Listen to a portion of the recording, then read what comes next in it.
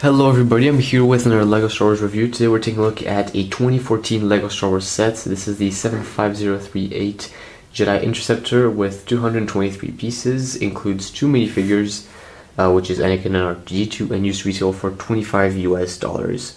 So fair price for this set, honestly, compared to the price per piece. Um, I said 240, right?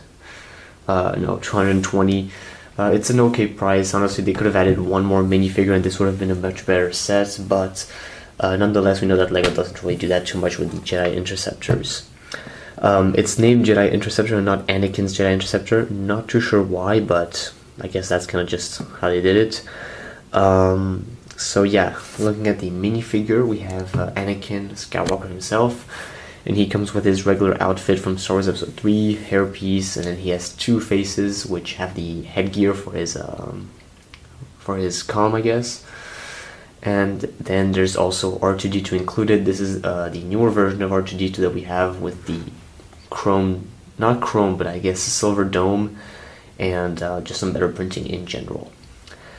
So that's it for the minifigures, nothing too exciting there. You're really getting the basic figures you need. Um, uh, that's yeah, that's about it for this uh, for the minifigures in this set. If you take a look at the vehicle, um, it has a really nice detailing all around the place. Um, it has a few stickers, not nothing too excessive, um, but I do enjoy how there's so much detailing and so much attention to uh, the color scheme and the small details like these guns over here, which don't really do anything, but they're still here. Uh, the flaps that open up. Obviously, you can open up the flaps like in the movie. That's a really cool look. Um, and then here on the under part, we've also got some great pieces. Um, taking a look here at the top part, this is where you fit R2-D2 inside. What I do prefer from this one compared to the newer Obi-Wan's Interceptor is that R2-D2 fits completely inside and only his head is popping out, not pretty much his entire body like on the other version. Uh, there's a little Republic emblem over here. So yeah, it's pretty straightforward. What you can do, since R2-D2's feet are just uh, popping out on the under part like this, you can just push with your fingers and then eject him if you want. I don't even know if that's a fun feature, but you could just do it yourself. Um, and here you got some more detailing. If we take a look at the engines, uh, they're pretty much the same, honestly. Yeah, you kind of just see what you get with this set. I, am trying to emphasize on how uh, Lego used a small amount of pieces to make this uh, Jedi Interceptor look much better than the previous versions. Uh, it looks very much detailed. Uh, this entire cockpit piece is printed, by the way, and so is this piece. Open it up and you got the sticker here for the control panel. It's pretty cool. And then this is where you put the lightsaber. So we're just gonna fit Anakin there.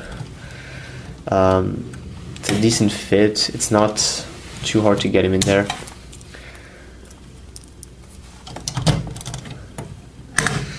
and there you go and it's pretty simple. That's that's about it for the vehicle. I do have to mention that there are some flick-fire missiles under it, which you have to just plug in like this, and then you just like this. Whoops. So yeah, uh, nothing too exciting. It's the same ones we've always seen, so whatever. However, I do want to compare this set, so let me grab on the older so this one here is the 2005 model um, that we have. It is a bit dusty and disgusting, but um, shouldn't appear too much on camera. Uh, there is quite a bit of difference, honestly, because the, the newer one here is much bigger, way, way bigger. Um, and this one, obviously, is less realistic. This one uses pieces to show the detailing on the wings, and then this one just simply uses stickers to show that there's some gray here. Uh, the cannons are much better looking here. And here they just added some blue things to emphasize that those are actually cannons. Uh, then we have these little side cannons, which are really uh, they really just fit into the vehicle. Here it kind of just looks odd. You don't really know what's going on. So that's the major differences. Uh, the wing panels honestly have not changed. They're the same sticker, I feel like, or barely different. Um, and then once again, it's like here they use grill pieces, here they just use a sticker. So th those are the major differences. It just looks much more detailed. Um, that's what the cockpit looks like on the older one. Here on the newer one, we have a full-on cockpit. We don't have the seat or the joystick in the middle, but we do have uh, this entire panel here. So yeah.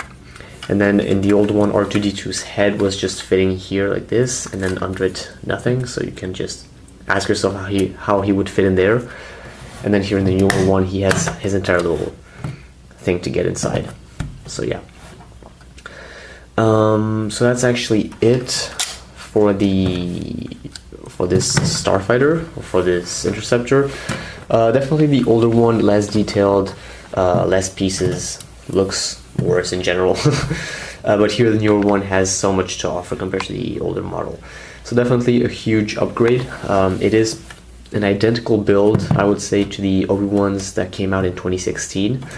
I do want to show you what the flaps open looks like because that's kind of a basic highlight of the set. uh, here we have a look.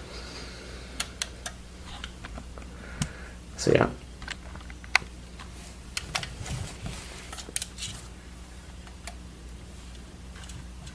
So yeah, kind of cool. You could definitely get a little stand and open those wings up and stuff. But that's going to be it for the uh, Jedi Interceptor. Please leave some comments and feedback in the comment section below. Definitely highly recommended set and kind of an essential set for any uh, prequel Star Wars fan. And uh, it's just going to fit very nicely in your collection in general. Uh, and it is a very fun play to set with. Uh, so guys, that's going to be it. Thanks for watching and I'll see you guys next time here on the MAGMA channel for a great LEGO video. Bye bye. The dark side.